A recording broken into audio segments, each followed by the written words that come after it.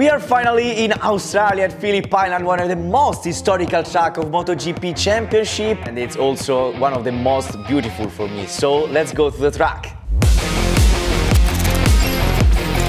Okay guys, we are in the straight of Phillip Island. Here is a very fast circuit, 6-4 gear in this right. It's very important to be close on the right. Oh, be careful to the throttle here.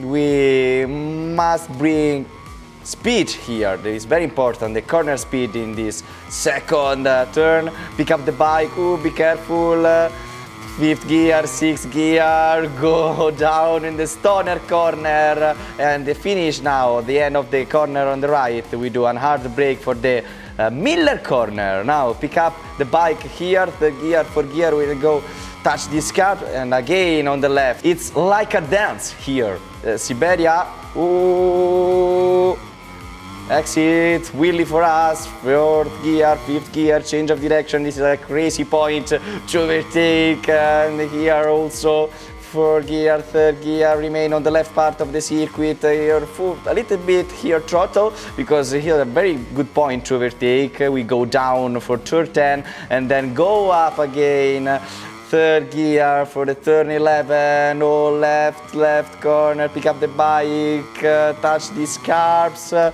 uh, all fourth gear on this left. We Here is crazy because all the track we can bring many, many, many kilometers per hour in the corners and close the lap in 27. Okay guys, we finished the lap in this wonderful circuit uh, and let us know below in the comment if you love this track. Bye!